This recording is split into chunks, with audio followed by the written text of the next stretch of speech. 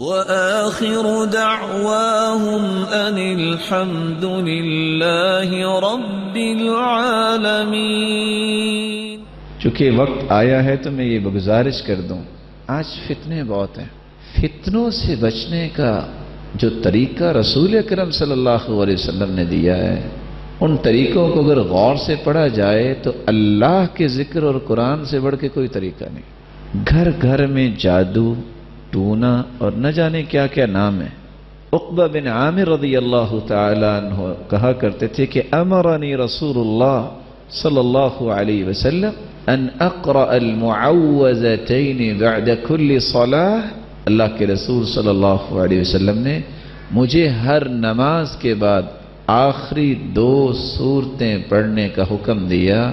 جو شخص وہ شام کے اذکار کرتا ہے اور پھر ہر نماز کے بعد اذکار، اور اس روایت کی روشنی میں ہر نماز کے بعد آخری دو صورتیں، اللہ کی رحمت اور اس کے فضل سے نہ اس پہ کبھی جادو ہوگا، نہ کبھی ٹونا ہوگا۔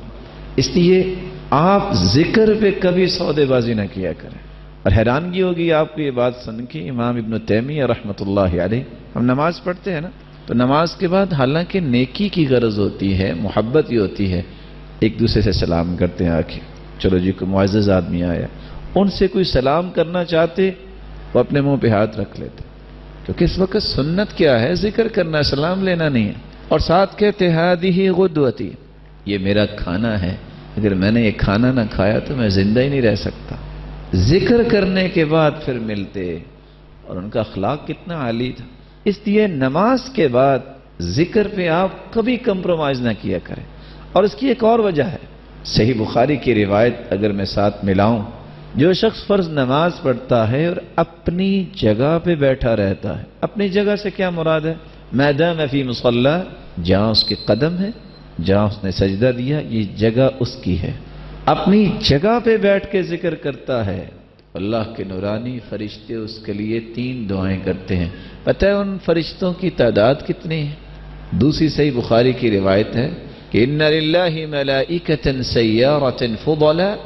اللہ کے کچھ موبائل فرشتے ہیں جو ہر وقت زمین میں گردش کرتے رہتے ہیں۔ یبتغون مجالس الذکر، اور وہ اللہ کے ذکر کی مجالس کی تلاش میں ہوتے ہیں۔ فَإِذَا وَجَدُوا ذَلِكَ جَلَسُوا مَعَهُمْ، اگر ان کو کوئی ایسی مجلس مل جائے تو وہ بھی بیٹھ جاتے ہیں۔ وہ کتنے ہوتے ہیں؟ حَتَّى يَمْلَأُ مَا بَيْنَ السَّمَاءِ وَالْأَرْض زمین اور آسمان کا خلا ان فرشتوں سے بھر جاتا ہے۔ ویسے کتنے کو ہو سکتے ہیں؟ اس کی تعداد میں اور آپ اندازہ کر سکتے ہیں۔ جس شخص کے لیے اتنے فرشتے تین دعائیں کریں، اور دعا کیا ہے؟ اللہم اغفر اللہ اے اللہ، اس کو معاف کر دے۔ اللہم تب علیہ۔ اے اللہ، اس کی توبہ کو قبول فرما لے۔